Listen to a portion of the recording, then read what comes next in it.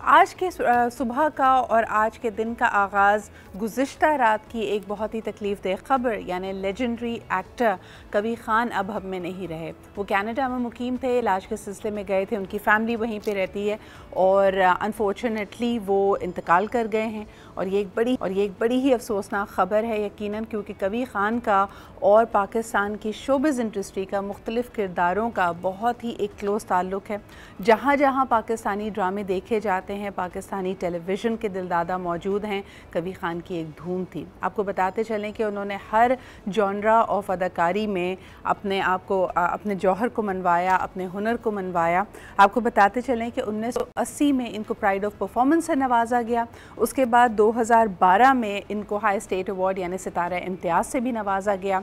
आ, 2007 में इनको पाकिस्तान टेलीविज़न की जानब से लाइफ टाइम अचीवमेंट अवार्ड भी मिला। इसके अलावा इनको निगार अवार्ड भी मिला which was probably back in 1987 एक सपोर्टिंग एक्टर के तौर पे एक पाकिस्तानी मूवी के यू नो जो इन्होंने किरदार अदा किया। अल्लाह ताला इनको गरीक रहमत करे। आखिरी दिनों तक ये माशाल्लाह एक्टिव थे और इनको हम देख सकते हैं कि मुख्तलिफ़ रूप में हमने इनको देखा। From you know a hero to a supporting actor हाल ही में मैंने इनका जो एक प्ले एक निजी चैनल पर चला था, आँगन वे he played the senior citizen citizens role यानी घर के दादा का किरदार। वो बड़ा अहम था। इसके अलावा पाकिस्तानी मूवीज़ में भी जलवा अफरोज़ होते रहे हैं। यकीनन एक ऐसा खला जो कभी नहीं पुर हो पाएगा।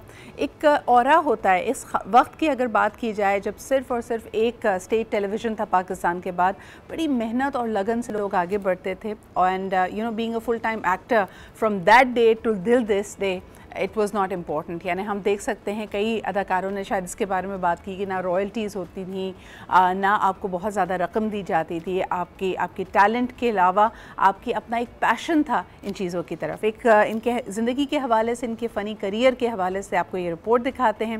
अल्लाह ताला इनके घर वालों को सब्र जमील अता करें, इनको गरीब के रहमत करें।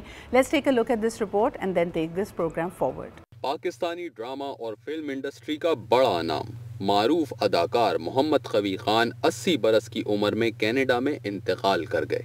अदाकार कवी खान कैंसर के आर्जे में मुब्तला थे और कुछ अरसे से इलाज की गर्ज से अपने बच्चों के पास कनाडा में ही मुकीम थे। अजीम अदाकार कवी खान ने कम उम्री में ही अपने फ़नी सफ़र का आगाज़ रेडियो पाकिस्तान से किया। बेशुमार टीवी, रेडियो और स्टेज ड्रामों में अदाकारी के जौहर दिखाए।